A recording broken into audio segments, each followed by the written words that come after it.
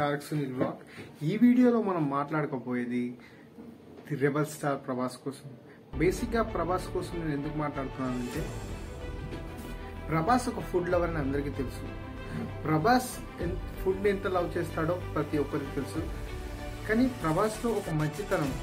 ఎప్పుడు చూడు సెల్ఫ్ డబ్బా సెల్ఫ్ డబ్బా ప్రతి ఒక్క హీరో ఎక్కడి నుంచి స్టార్ట్ అయింది? రాఘవ లారెన్స్ రెబల్ మూవీ నుంచి స్టార్ట్ అయింది ఇది. రాజు గారి భోజనం అంటే ఎలా ఉంటుంది? ప్రభాస్ నాట్ ఓన్లీ ఒక స్టార్ హోదా ఉన్న డైరెక్టర్కే పెట్టడం కాదు దాంట్లో పనిచేస్తున్న అసిస్టెంట్స్కి ప్రతి ఒక్కరికి పెడుతున్నాడు ఫుడ్ పెడుతున్నాడని ఇప్పుడు లేటెస్ట్ లాస్ట్ సాహో దాకా అందరూ మాట్లాడుకుంటూ వచ్చారు. ప్రభాస్ ఇంటి నుంచి క్యారేజ్ వస్తుంది Prabhas food lover Prabhas lot of food ఎన్నో వెరైటీస్తో భోజనాలు పెడతాడని. సో అప్పటి వరకు అనుకునేది రాజుల కుటుంబం ఒక రాజు అంటే ఇలానే ఉంటాడు. ఒక రాజు ట్రీట్ చేసే విధానం ఇలా ఉంటుంది. అని అనుకున్నాం మనం బేసిక్గా. వాళ్ళు ఎవడన్నా కొట్టి చంపుతారు కానీ వాళ్ళు పెట్టి చంపుతారని రాఘవాలనేసి ఆ రోజే అన్నాడు. నేను అప్పటి వరకు అనుకున్నాను ఓన్లీ అది సెలబ్రిటీస్ మట్టుకే అనుకున్నాను.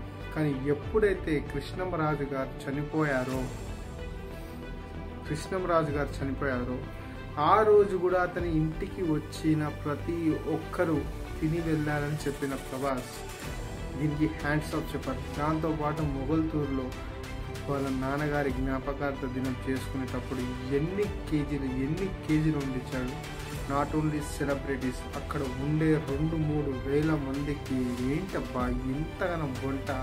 నిజంగా రాజుల వంశం అంటే మామూలు వంశం కాదన్నట్టే చెప్పాడు.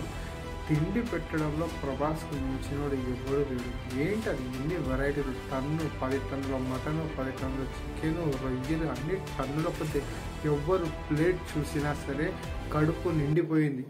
అన్నట్టు అందరు దీవించారు. నిజంగా ప్రభాస్ హ్యుమానిటీలో నెంబర్ వన్ హీరో అని చెప్పుకోవాలి. ఎందుకంటే సినిమా రంగంలో ఉండేవాడు కేవలం వా షూటింగ్ షూటింగ్స్ టైంలో ఉండే వాళ్ళకే పెడతాడు.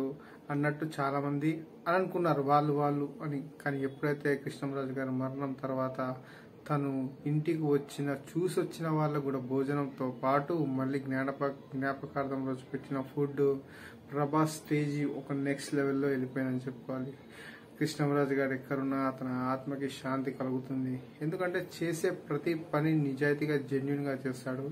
ఎటువంటి కాంట్రవర్సీలో ఇంతవరకు ఏలిపెట్టని ఎవరైనా ఉన్నారు అంటే Prabhas the first pan India hero మన తెలుగు ఇండస్ట్రీ నుంచి. ఒక లెజెండరీ ఫాదర్ని కోల్పోయిన తర్వాత ఎంతో బాధ ఉంటుంది. కానీ ఆ బాధ మొత్తం దిగమింకోవాలా ఇంటికి అతనే చూసుకోవాలి కాబట్టి? ఇప్పుడైతే తన ఫ్యాన్స్కి తన కుటుంబ సభ్యులకి మొగల్తూరులో ఉన్న ఊర్లో ప్రతి ఒక్కరున్న ప్రతి ఒక్కరికి భోజనం తినిపించాడు. ఇప్పుడు నెక్స్ట్ రాబోతున్న సినిమాలన్నీ ఘన విజయం సాధించాలని కోరుకుందాం. కృష్ణంరాజు గారి రెబల్ అనే పేరుని తీరస్థాయిగా నిలబడేలాగా చేసే వ్యక్తి ఎవరైనా ఉన్నారంటే అది ఓన్లీ ప్రభాస్ వల్లనే అవుతుంది. Thank you so much